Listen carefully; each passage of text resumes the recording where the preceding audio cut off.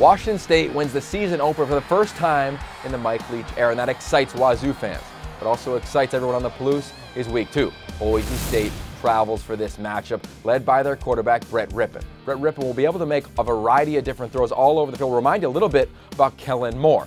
The challenge for Washington State will be the, can they get him off his launch point? I think they bring a variety of different styles of blitzes. Remember, in week one, they only got tested 12 times, 12 pass attempts in that opening game of the season. So we really don't know a lot about this secondary for Washington State. I think they try to get the quarterback off his launch point.